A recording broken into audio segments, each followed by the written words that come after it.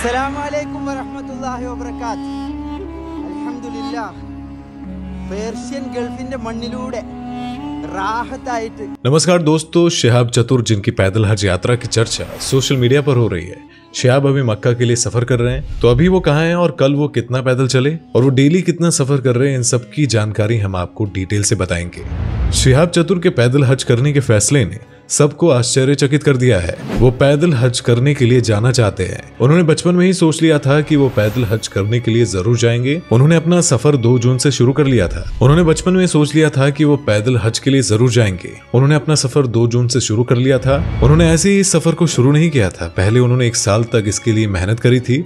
और उन्हें जिन देशों से गुजरना है, उन देशों के वीज़ा के लिए उन्होंने बात करी। और वहाँ उनसे कहा गया था कि जब वो हर देश के बॉर्डर पर पहुँचेंगे तो उन्हें वीज़ा दे दिया जाएगा। और वीज़ा की परमिशन मिलने के बाद ही उन्होंने अपना सफ़र शुरू किया था, जिससे कि उन्हें सफ़र में कोई दिक्कत ना आए। जब वो भारत में सफ़र कर रहे थे, तब वो एक दिन में 40 से 45 किलोमीटर पैदल चलते थे।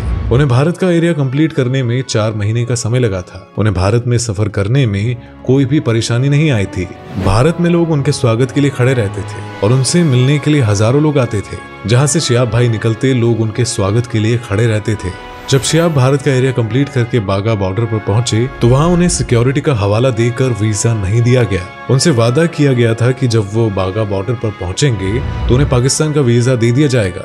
लेकिन ऐसा नहीं हुआ, जिस वजह से वो पाकिस्तान एंटर नहीं हो पाए। और जैसा कि हम जानते हैं कि किसी देश में बिना वीज़ा के हम एंटर नहीं हो सकते। सभी को यही लगा था कि शयाब को कुछ दिनों में वीज़ा मिल जाएगा, लेकिन पाकिस्तान सरकार ने वीज़ा देने में बहुत समय लगा दिया। जब तक उन्हें वीज़ा नहीं मिला, तब तक वो पंजाब के खासा गाँव के आफिया किड स्कूल में रुके रहे। वहाँ के ऑनर जुनेद भाई ने शिहाब को पूरा सपोर्ट किया। शिहाब पंजाब में रोज पैदल चलते थे। जिससे कि उनकी प्रैक्टिस होती रहती थी। जब तक शिहाब भाई का सफ़र शुरू हो, तब तक लोगों ने उनके बारे में कई प्रकार की बातें करी थी और लोगों को ये लगने लगा था कि उन्होंने ये सब कुछ फ़ेमस होने के लिए किया है। और अब वो अपना सफ़र शुरू नहीं कर रहे और वीज़ा न मिलने का यहाँ पर बहाना बना रहे हैं। और लोगों को यही लगा था कि वो अपना सफ़र पूरा ही नहीं करेंगे। कुछ लोगों ने ये भी कहा कि वो घर वापस चले गए हैं और उन्होंने इसके बारे में किसी को बताया नहीं है। और शेहब की एक और फेक न्यूज़ फैली कि वो चाइना से होकर सफ़र करेंगे। वो खुफिया तरीके से सफ़र कर रहे हैं। लोगों ने उन्हें बहुत ज़्यादा ट्रॉल किया।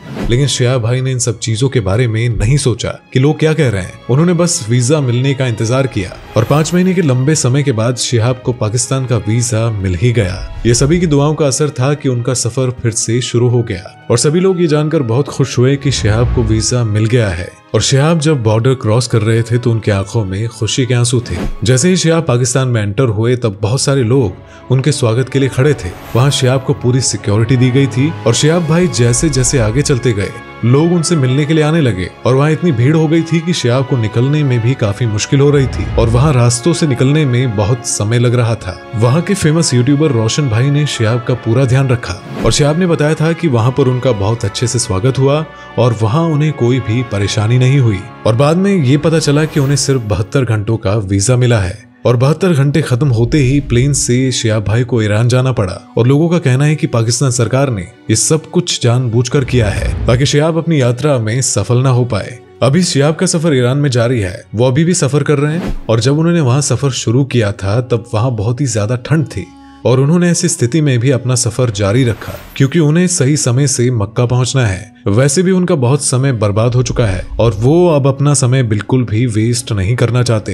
कहा जा रहा है कि ईरान में अब ठंड थोड़ी कम हो गई है, और बर्फबारी भी बहुत कम हो रही है, और शियाब वहाँ बहुत ही खुशी से सफ़र कर रहे हैं। वो वहाँ अकेले ही सफ़र कर रहे हैं, और उनके साथ वहाँ कोई नहीं है। उन्हें अकेले सफ़र करने में कोई भी दिक्कत नहीं हो रही है। उन्हें बस अपनी मंजिल दिख रही है कि उन्हें 2023 का हज पूरा करना है। वो जानते हैं कि अल्लाह उनके साथ है और उन्हें अल्लाह पर पूरा विश्वास है। इसीलिए वो जो भी करेंगे, सही करेंगे। हसीब भाई जो कि पाकिस्तान के रहने वाले हैं उन्होंने कहा कि शियाब जब तक ईरान में हैं, उनके रहने और खाने का खर्चा वही उठाएँगे। और कल शियाब भाई ने 40 से 45 किलोमीटर की दूरी तय करी थी और वो रोज 40 से 45 किलोमीटर पैदल चलते हैं। शिहाब इराक बॉर्डर से 100 किलोमीटर की दूरी पर है। कहा जा रहा है कि शिहाब के पास इराक और कुवैत का वीज़ा नहीं है। लेकिन जब तक वो इराक बॉर्डर पर पहुँचेंगे, उन्हें इराक का वीज़ा मिल जाएगा। और उन्होंने 4500 किलोमीटर की दूरी तय कर ली है। और जब से उन्होंने अपना सफ़र शुरू किया है, तब से उन्होंने 4500 किलोमीटर की दूरी तय कर ली है। शिहाब बहुत ज़्यादा मेहनत करके यहाँ तक पहुँचे हैं।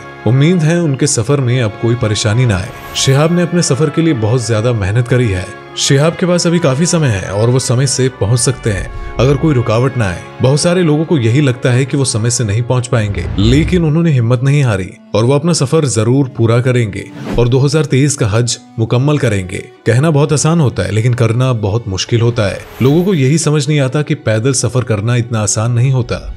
हर कोई ऐसा नहीं कर सकता और शिहाब जैसा कोई भी सोच नहीं सकता। इसलिए हम सभी को दुआएँ करते रहना चाहिए कि शिहाब के सफ़र में कोई परेशानी ना आए। शिहाब ने अपने सफ़र के लिए बहुत सब्र किया है। वो बस अल्लाह की इबादत के लिए जा रहे हैं। तो लोगों को उनको सपोर्ट करना चाहिए, लेकिन लोग उन्हें ट्रोल कर रहे हैं। लेकिन शिहाब तो बस आगे बढ़ते जाएँगे, उन्हें तो बस अपनी मंजिल तक पहुँचना है। उम्मीद करते हैं कि शिहाब का सफ़र समय से पूरा हो जाए, उन्हें अपने सफ़र में कोई दिक्कत ना आए तो हम सब बस ऐसे ही उनके लिए दुआ करते रहेंगे। दोस्तों, कैसी लगी आपको हमारी आज की वीडियो? अगर आपको वीडियो पसंद आई हो तो कमेंट करके ज़रूर बताएँ, और हाँ जाते जाते वीडियो को लाइक और चैनल को सब्सक्राइब ज़रूर कर देना। तो मिलते हैं नेक्स्ट वीडियो में। थैंक्स फॉर वॉचिंग दोस्तों, आपको स्क्रीन पर दो और वीडियोस दिखाई दे रही हैं, जिसे देखने के लिए स्क्रीन पर क्लिक करें।